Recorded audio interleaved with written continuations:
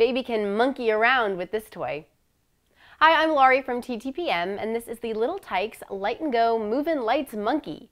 This toy monkey has two modes of play, and in both modes he projects colorful lights from his lantern.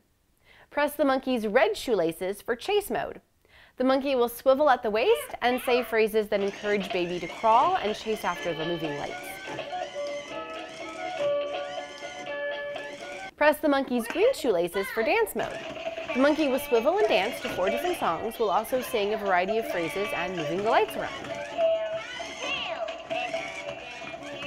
It comes with four AA batteries for the in-store try me features, so you want to replace them before you play for best results.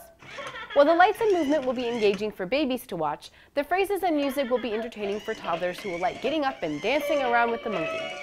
It's for ages 9 months and up, so this is a toy that has the potential to grow with your child, helping to encourage the development of gross motor skills and just offering some silly fun at playtime.